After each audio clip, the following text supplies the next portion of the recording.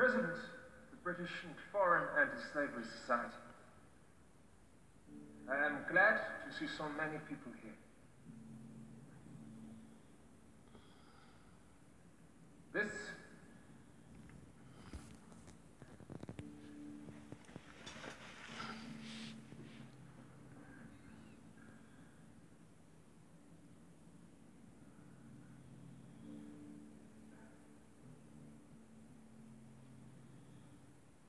This barbarous trait is repugnant to Christianity and the blackest stain upon civilized Europe.